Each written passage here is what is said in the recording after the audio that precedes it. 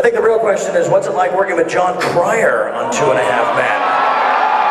How about that fucking guy? Absolute rock star. I said some shit about him I should not have. I called him a troll. Sorry, Jon. You're not a fucking troll. You're a rock star. Not from Mars like me. But you're bitching. You guys like Jon Cryer, right? How do you guys feel about Two and a Half Men? Do you want to see me back on it? Yeah, how about that? How about that? You know what? Shout it out to fucking Warner Brothers. All the way back in Burbank.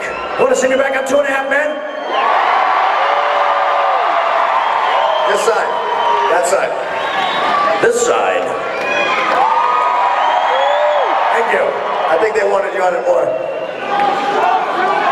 Hold on. Let's talk about two and a half men. Let's talk about two and a half men. What are they going to do now without you is the question. They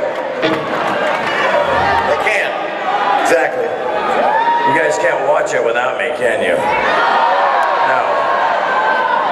You need to all write to the fucking studio, to the network, and say, bring him the fuck back. What are you, on fucking crack? And if you were, you should have fucking shared it with him. I think what you guys have to understand is that um, I got fired. I got fucking fired. I didn't quit. I'm not a fucking quitter. AA's filled with quitters. No quitter. Come on now. Here's the good news. I'll go back. and Just, just walk with me. This is really fucking complicated. I'll go back if they rehire me. Did I throw anybody?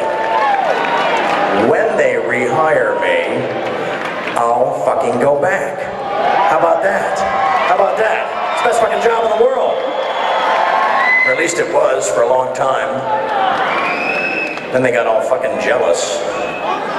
They got jealous. They gave me all that money. Yeah, I know, and then took it back. They got jealous. They saw I was having too much fucking fun. And they fired me for having too much fun. That'd be like all of us tonight, like getting fired for having too much fucking fun. Later on in Central Park with fucking glow sticks. Come on, man. Come on. So I need you all to write to them. Can you do that for me? Can you write a fucking letter? Will you do that for me? But here's what they want from me. Well, he doesn't completely suck. He's a really good fucking writer. He's a good writer. You guys like Chuck Lorre's writing, right? Come on. Yeah. It's like four people. They want me to apologize. How do you feel about that? No? It's a conundrum then. Puts me in a bit of a pickle. Because if I don't write the apology, that you guys don't want me to, they won't fucking hire me back. And then where are we? We're fucking here.